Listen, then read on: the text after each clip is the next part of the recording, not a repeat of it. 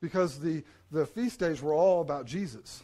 He's right. So I think there could be some blessing, at least studying it. And, and, and if you think that is a way to honor God, is to do those things, fine. Um, the, the danger is, is that why are we trying to, to give ourselves works to do?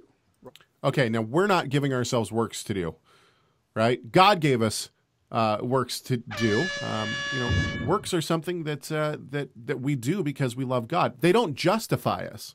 Well, Yeshua said too in the Sermon on the Mount, he says, They will see your good works and they will glorify your Father who's in heaven.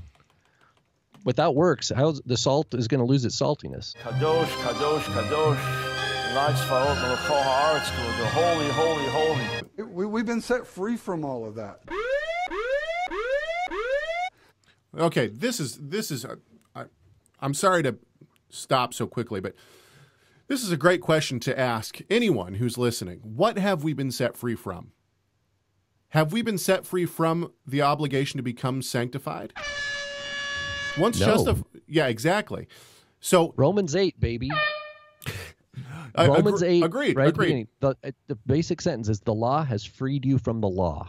The law of the of the spirit of life in Messiah Yeshua has freed you from the law of sin and death. By the by the Torah is the knowledge of sin. Yeah, and you are and we are enslaved if you're a slave to sin you need you need freedom and you're only going to get freedom from that. We know gospel of john gets into this. Only by the son only by being found in yeshua who is the law of the spirit of life. Why? Perfectly obedient. Yeah. so the torah gives him the torah testifies that there is no sin in yeshua and that there is no grounds for death to hold him. He has eternal life. He has hmm. life. Yeah. And those who are in him share in that life. Kadosh, Kadosh, Holy, Holy. Kadosh, Kadosh, Holy, Holy. Listen, who I can test the Almighty One, reveal Himself in the coming of the Son. Kadosh, Kadosh, Holy, Holy.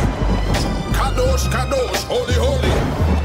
In my road, the universe, in my last and first. When I'm come, I'm shit the foundation and out see God, who was spoken of by the ancients in the form of a man or an angel, yet equated with divinity.